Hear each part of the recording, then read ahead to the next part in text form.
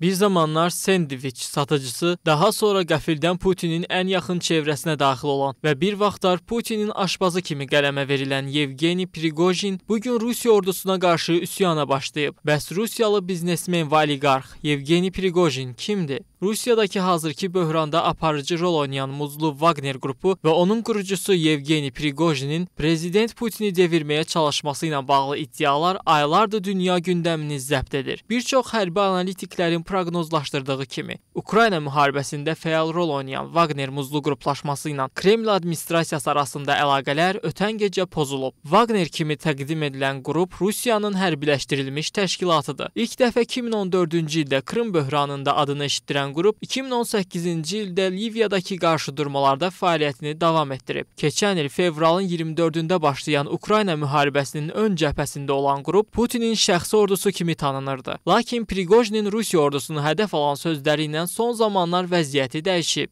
Əvvəlcə cəmi 1000 nəfəri işə götürən Wagner 2017-ci ilin avqustunda bu rəqəmi 5000-ə, 2017-ci ilin dekabrında isə 6000-ə çatdırıb. Bu gün qruplaşmanın təxminən 25 min əskəri olduğu güman edilir. 1961-ci ildə Sankt-Peterburqda anadan olan Yevgeni Prigojinin anası xəstəxanada işləyib. Atası isə o gənc olanda dünyasını dəyişib. Prigojin məktəbi bitirdikdən sonra bir qrup cinayətkarla sıx əlaqələr qurub. 1979-cu ildə hələ 18 18 yaşında olarkən oğurluqda günahlandırılıb. Lakin 2 il yarımlıq həbs cəzasının icrası təxirə salınıb. 2 ildən sonra yenə oğurluq və soyğunçuluq ittihamı ilə 13 il həbs cəzasına məhkum edilib və 9 il dəmir barmaqlıqlar arxasında qalıb. Həbsdən çıxandan sonra sosiska satışına başlayan Wagnerin şefi qısa müddətdə biznesini genişləndirib. Cəmi bir neçə il ərzində o dəbdəbəli restoranların sahibi olub və Rusiyanın zəngin və elit dairələri ilə sıx əlaqələr qurub. Rusiya prezidenti prezidenti Putin Priqojinin dəbdəbəli restoranlarında xüsusən xaricdən gələn xarici qonaqları qəbul etməyə başlayıb. İkisi arasında münasibət qısa müddətdə inkişaf edib. Çox keçmədən Priqojin Rusiya hökuməti ilə müqavilələr imzalayıb və catering şirkəti ilə Kremlə xidmət etməyə başlayıb. Bu dövrdə Putinin aşpazı titulunu qazanan Priqojin Rusiyanın Krımı ilhaq etməsi ilə qida sənayesindən çox fərqli bir sahəyə yönəlib. Priqojinin nasist Almaniyasından ilhamlanaraq qurduğu iddia edilən Wagner qrupu qrupunun Suriya və Malidəki qarşıdurmalarda fəal rol oynadığı, hətta Amerika Birləşmiş Ştatlarındakı seçkilərə müdaxilə etdiyi düşünülür.